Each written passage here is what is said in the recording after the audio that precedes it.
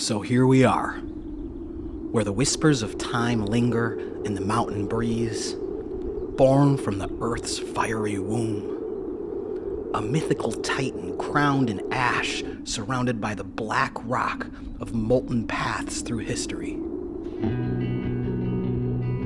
This is Mount Etna.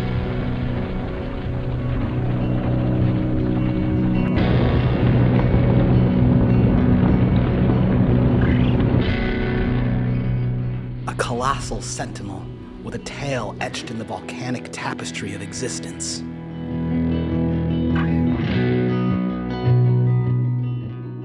Okay, so that was written by ChatGPT. And as you can see, the AI narration is nothing like me. Okay? So here we are back with season two of Mike Loves Sicily on the East Coast, and we're starting in one of the most beautiful places in Sicily. But before we begin, I want to explain why it's taken so long to get to season two. The truth is, we filmed this series and started putting it together and tried to sell it to networks all around the US. But sadly, in the current climate of travel shows, we live in a world where Stanley Tucci's show about Italy got canceled, which doesn't leave a great chance for us. But we put a ton of energy into this project. It's very dear to me, it means a lot, and as you know, since you're watching it here, we've decided to put it out on YouTube, which is great because everyone can watch it now easily and for free, but it's taken a little longer. So that's the status here on Mike Love Sicily. Rolling. Speed. Flat with the stones. Dang it. So here we are at Mount Etna. We are a thousand meters in the air here, and Yeah. we're still about 2,000 meters below the top of Mount Etna. Mother, Mama- Mama Etna, Etna, yeah. is what she's called here in Sicily because she is the mother of Sicily. It is her volcanic, nutrient-rich lava rock, black stone And soil also red. Stone. also some red that has caused the fertile grounds of Sicily to produce such a wealth of delicious foods Yeah. and wine and it's all because of this this volcano here which is the biggest volcano In Europe, in Europe. And we stay here in the place where 300 years ago maybe a lava create this land you know from from the from the top of here and move in this part. It's interesting because you know give to also to the food a lot of flavor. Mount Etna also known as Mount Jabello has a rich and turbulent history that stretches back thousands of years standing at over 3,300 meters tall with over 200 recorded eruptions since 1500 BC. Each year, Etna attracts countless visitors from around the world, drawn to its dramatic landscapes and unique experiences. Now, tourists usually have the opportunity to explore the volcano's craters and hike along its trails, but at this exact moment in time, those experiences were closed.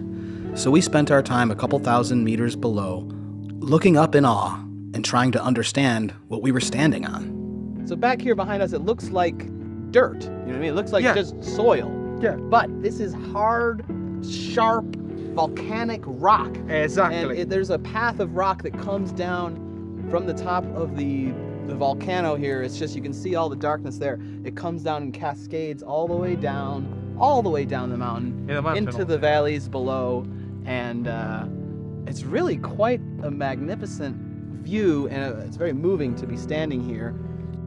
This volcano has been both feared and revered by the people of Sicily, who have witnessed its eruption shape and transform the surrounding landscapes. But Etna is more than just a geological wonder. It's a living entity that holds a special place in the hearts of the Sicilian people. Its fertile slopes nurture vineyards, orchards, and olive groves, providing a bountiful harvest and shaping the region's unique cuisine and culture. And now that we're almost five minutes into the episode, we are obligated to show some food and eating. And luckily, on the way up the mountain, we had stopped at a little deli to pick up some sandwiches.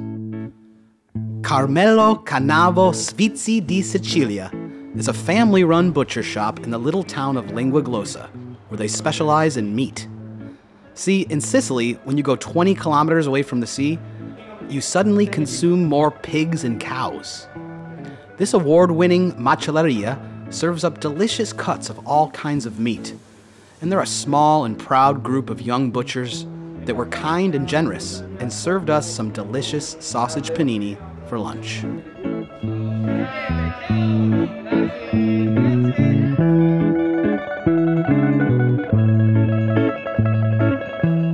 And after wolfing down some mouth-watering salsiccia, we suddenly were filled with energy.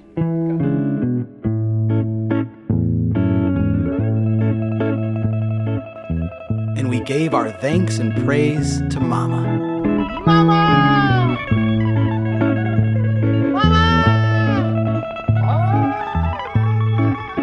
Mount Etna, a truly remarkable place, not only in Sicily, but in the world. A one of a kind place that everyone must visit.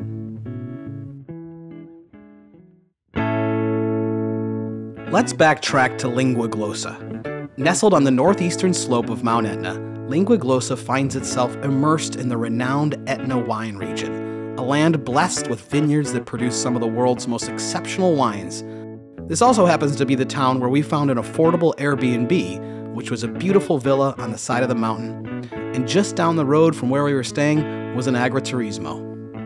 An agriturismo, simply put, combines agriculture and tourism. And usually it's a place where you can stay and eat at a farm where the food you get is grown right there on the land. Just below Etna is Torre del Gheppio, started by Santo Presandrea 20 years ago when he decided to leave the city life and purchase this old barrio that dates all the way back to 1838. Today, the structure has a 70 seat restaurant and six accommodations for rural tourism. Santo lives there with his family and displays art and relics from his family's history. And after showing us around, we immediately got into the famous Etna wine. Questo è un Etna bianco, un Etna DOC bianco che useremo come aperitivo per la serata ed è un, vino composto da tre ue di bacca bianca, Cataratto, Minnella e Caricante. Prodotto in una contrada che si chiama Contrada Martinella, quindi prende nome da questa antica contrada, ed è prodotto da una piccola cantina di lingua glossa, la cantina Aitala. The Etna region has become a major destination for wine lovers around the globe. And we started with a Bianco, featuring both of the most typical white varieties in the region, Carricante and Catarratto. Catarratto, Carricante e Minnella. È un un mix di bacca, di bacca bianca. It's a white mix, okay. Ooh, very nice. Vedi? The white wine here showcases bright acidity, citrusy flavors, and a pronounced minerality, which comes from the mineral rich volcanic soil. But according to Santo, these wines aren't for everybody. You have two choices. Or you love or you hate this Sì. type of really? Vino del piacere oppure non piacere. Because it's, it's strong wine. It's good, it's going down quick for me. Ah sì, va molto veloce, lo finisce molto velocemente. Sì, guarda. We have another, we have a bottle. Now, Santo actually doesn't grow vegetables on this land. He has animals here, but he has made some special bartering arrangements with his neighbors. He invented this uh, idea with the shit of the donkey. He, donkey shit. Yeah, give to a producer. You feed the donkey the vegetables, he shits them back out. You feed the plants, the plants make the E food. chi, è, e chi è l'operatore più importante qua dentro? L'asino. Who is the, the, the most important things here? The donkey. So, with that appetizing new information, it only made sense to head to the kitchen, where La Cuoca de Casa, Cettina Pericelli, was getting things started by sauteing some bietola. I haven't seen a lot of greens like this. I, I, see, I love greens. Me too. Yourself. Very healthy. Toss in some spicy pepperoncino, some chunks of bread, Sorry, I'm on a low carb diet. Questa è la salsiccia. Sausages. and of course, Santo's famous salsiccia. The vegetarian one for me. This simple, healthy contorno is right up my alley, and I really couldn't wait to taste it. Peperoncino. Yeah, let's have Yeah. some. Okay. Peperoncino di Avadino. Red, red, red hot chili pepper and wine is perfect. Anthony Kiedis. Give him up. In Sicilia perlomeno con pochissimo cucina piatti stupendi. Ma con poco. Esatto. She's right. It's all about the little things in Sicily. The small places, the simple food, all beautiful little stories. Maccheroni alla norma. Norma pasta. Mia. Maccheroni al suino nero dei Nebrodi. Oh, baby. Look at those thick noodles. Okay, I can't lie here. We waited quite a long time to finally eat. And as you can see on the right there, there's three empty bottles of wine, which definitely uh, contributed to the turn in conversation. You know, science and technology. What I what I want is regenerate, you know, regenerative pigs, Black. where you can cut little chunks of them off, and then it grows back slowly, and they Yeah, still like enjoy a their life. Yeah. You know. Yeah. The secondi was appropriately the pork sausage, Look at that, cooked to perfection. and of course, we gave our gratitude to Chef Cettina. This is a perfect woman right here. Okay, that's what we call.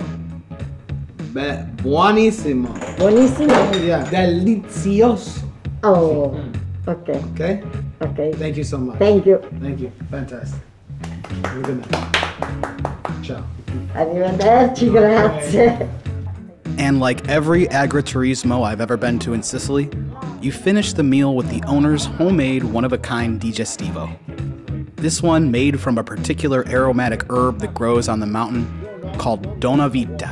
Dona Ah, give to life. Dona vita. Salute, Santo. And thanks so much for sharing your life and providing us such a chill and fun evening.